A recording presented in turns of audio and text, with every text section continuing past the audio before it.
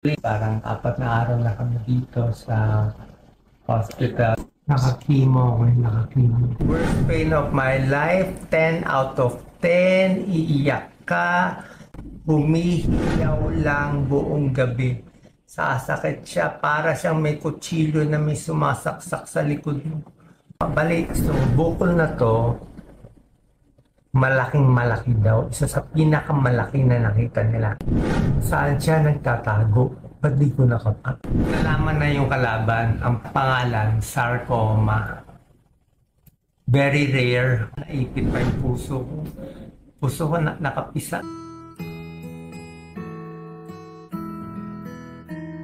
Magandang araw po. ah.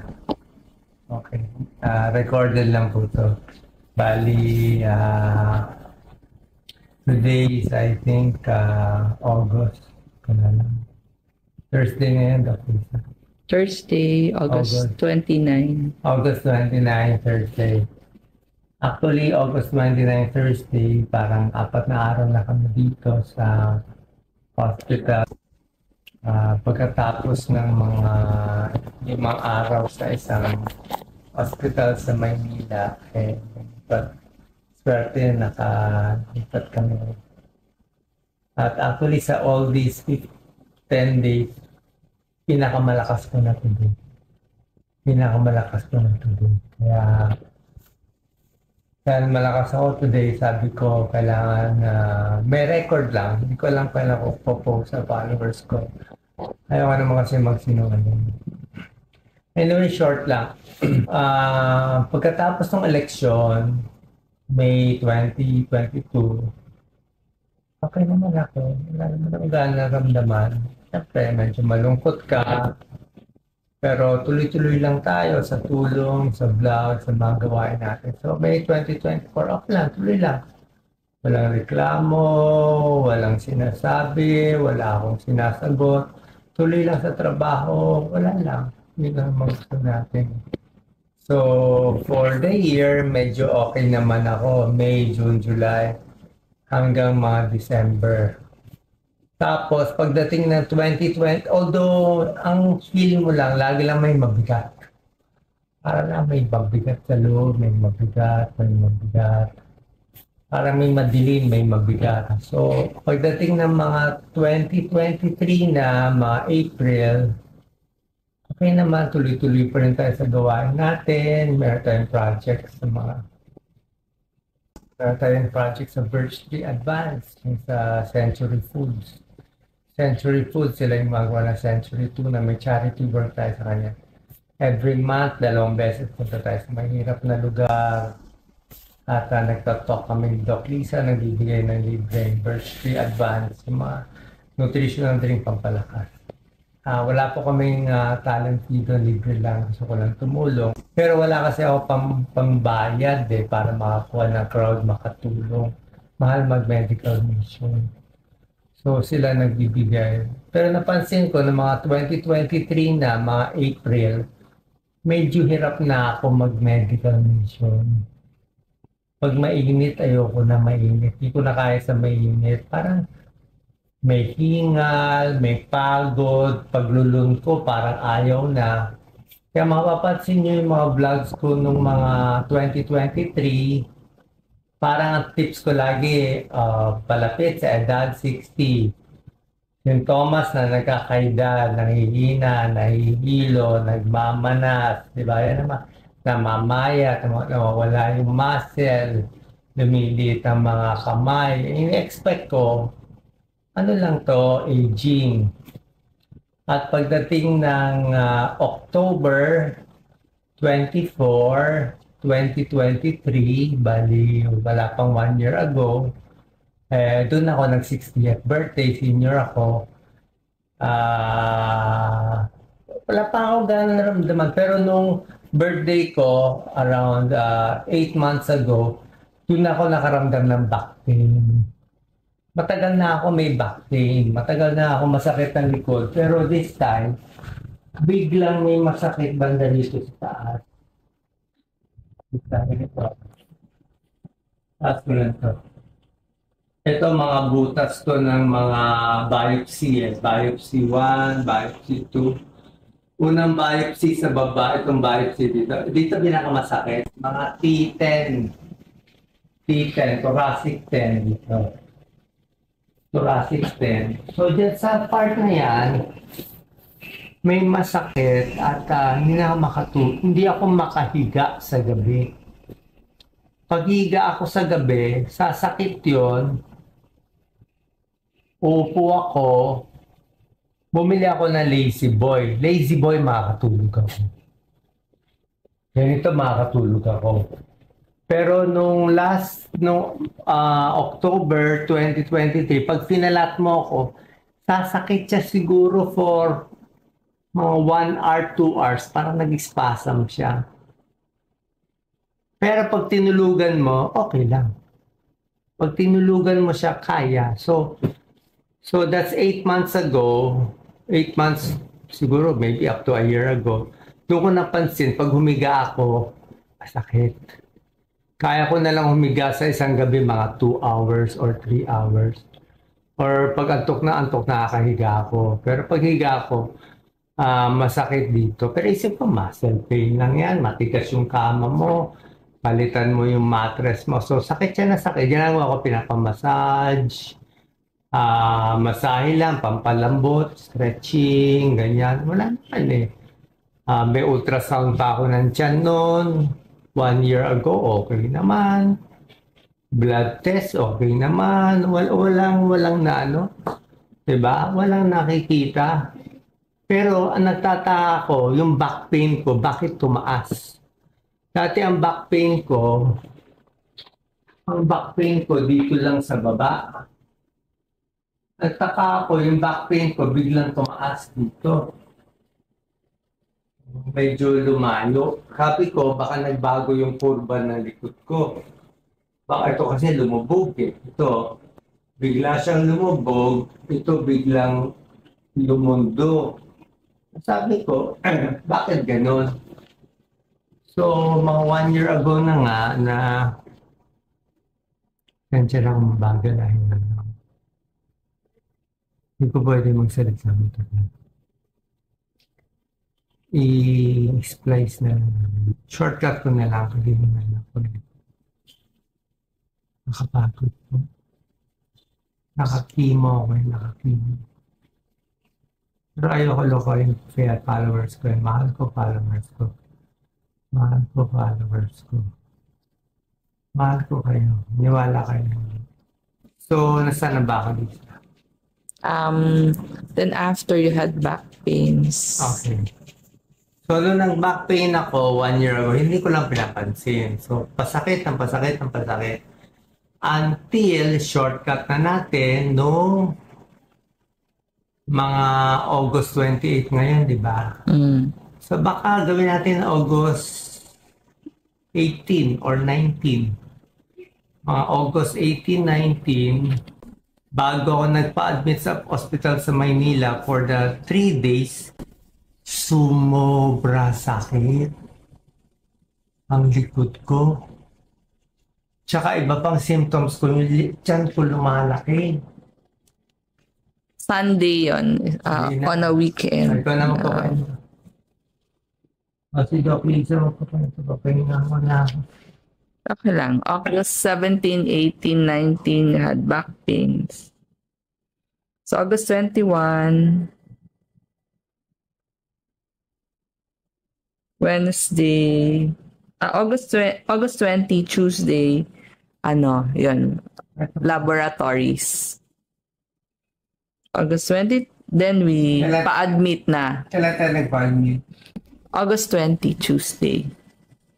So, Sumakit mga August 18. 17, 18, 19, that weekend. Akit mo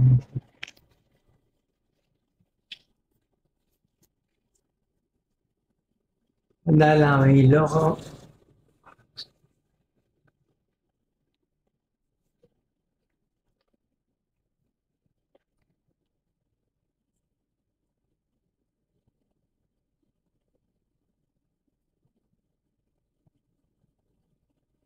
Dok, ba't ka masungit?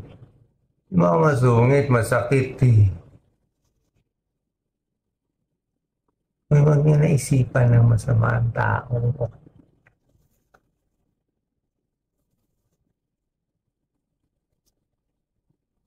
So, sumakit siya bigla. Sobra-sobra sakit.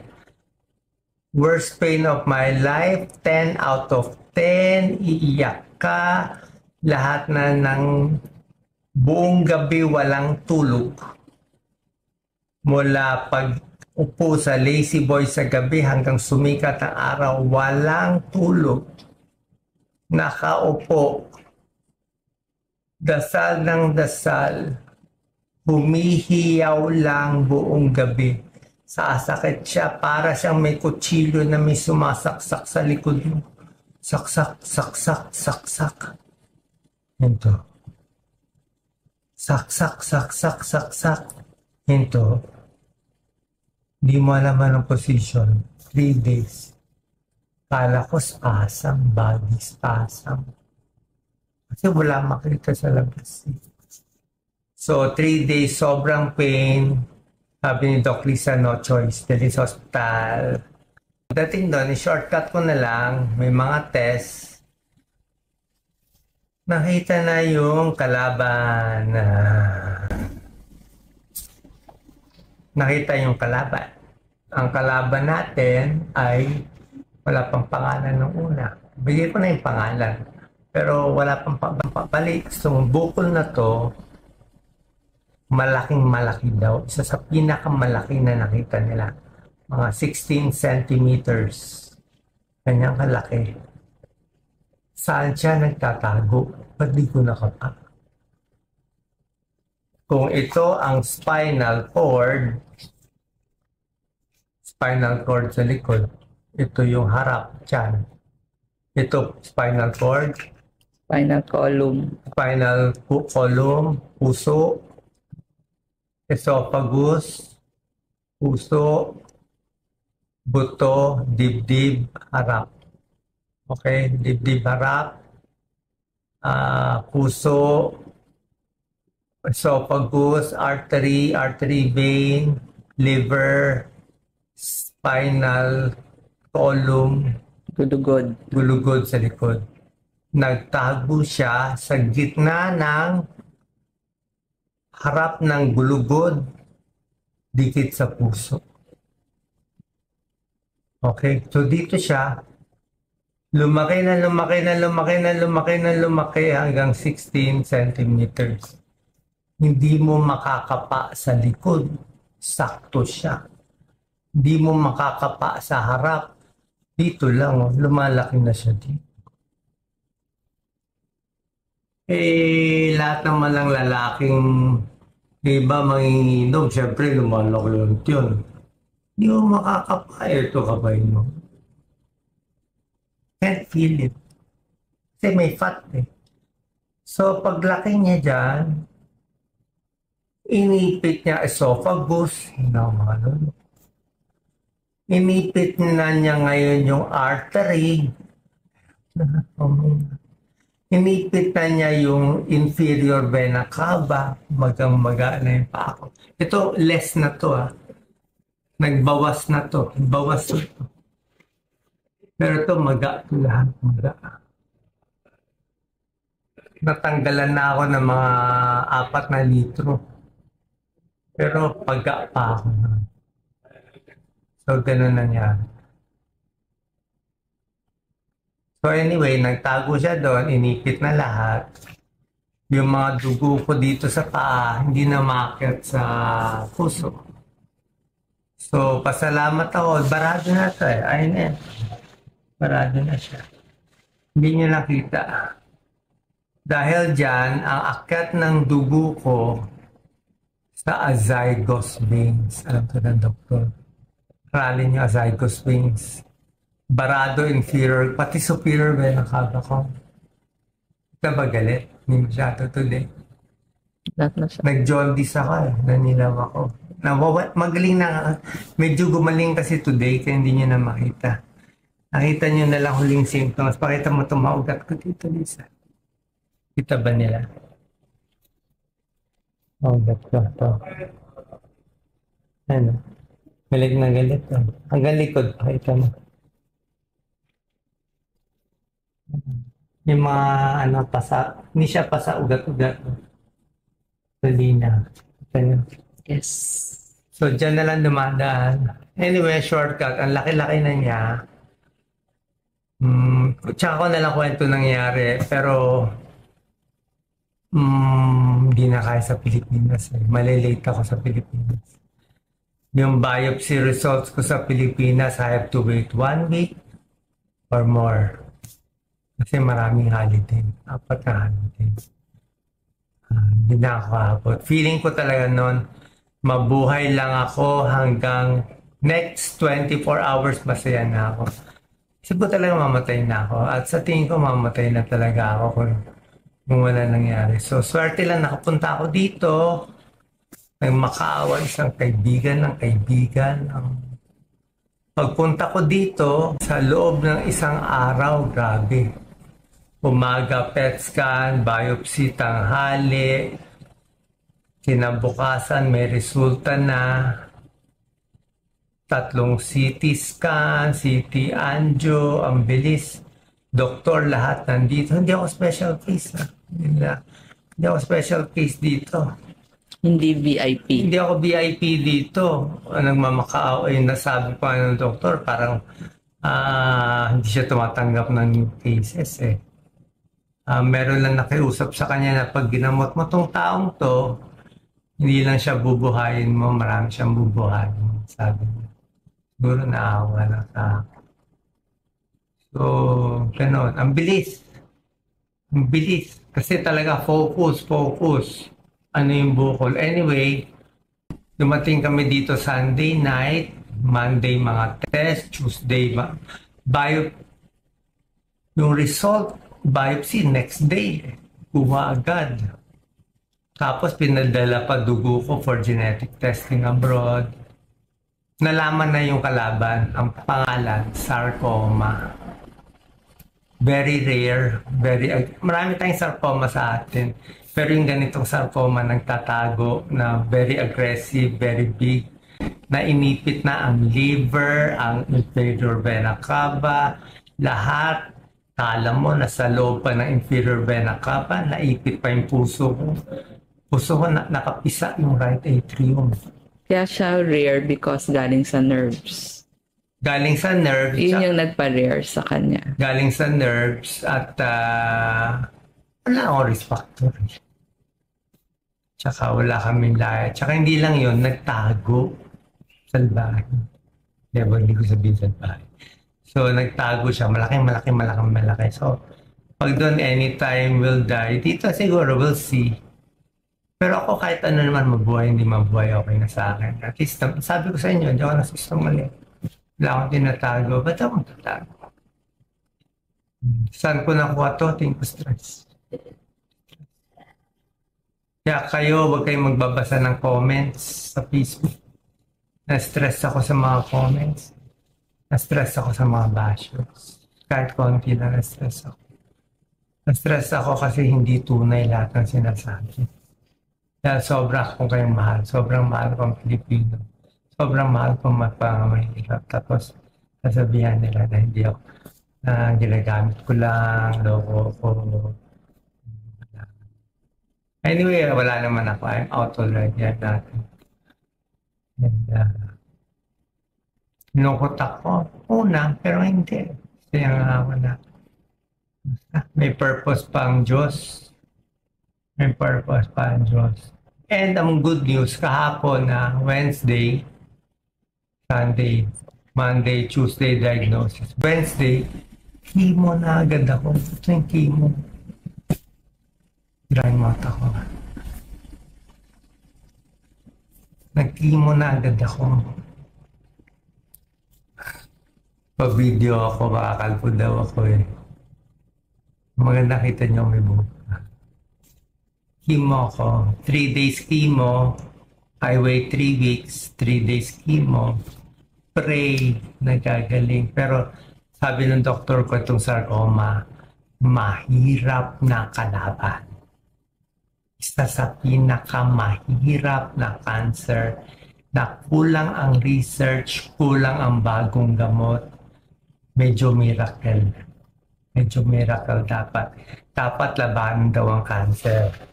Sabi niya, kainin mo lahat ng gusto mo. Kumain ka ng steak, kumain ka ng protein, nawalan ka ng protein. Uh, itlog, kalimutan mo na yung diet. Okay, sorry kung mali na si payo ko before.